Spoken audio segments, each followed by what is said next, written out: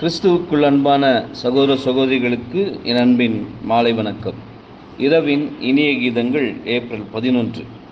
துன்மார்க்குடைய ஆலோசனையில் நடவாமலும் அவருடைய வேதத்தில் தியானமாயிருக்கிற மனுஷன் பாக்கியவான் அவன் நீர்காலனில் உரமாய் நடப்பட்ட தன் காலத்தில் தன் கனியை தந்து இலை உதராதிருக்கிற மரத்தைப் போல் இருப்பான். சங்கீதம் ஒன்று ஒன்றிலிருந்து மூன்று வரை.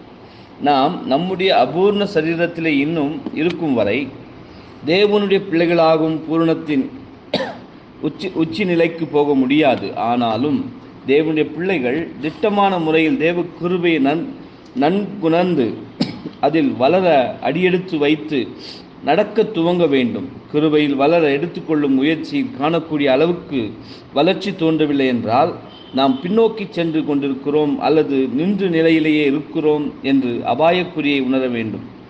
நாம் எப்பொழுதும் நமது கண்களுக்கு முன்பாக நமது கத்தராகிய இயேசு கிறிஸ்துவின் முன்மாதிரியாய் உதாரணமாக வைத்திருக்க வேண்டும்.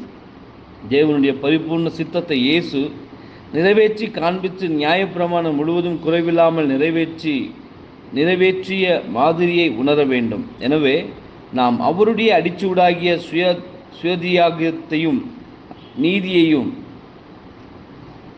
விசுவாசத்தோடும் அன்போடும் வைராகியத்தோடும் நிறைவேற்ற முயல வேண்டும். தேவனுக்கு உண்மை உள்ளவர்களாக இருக்க வேண்டும் என்ற எண்ணமே அவருடைய சித் சித்தத்தை நிறைவேற்ற சக்தி உள்ளவர்களாகவும் தகுதி உள்ளவர்களாகவும் செய்யும் இறுதியில் ஏற்ற விலையில் மகிமுள்ள வெகுமதியை பெரும்படியாக வாய்ப்பை பெறலாம் என்பதே. ஆமேன்.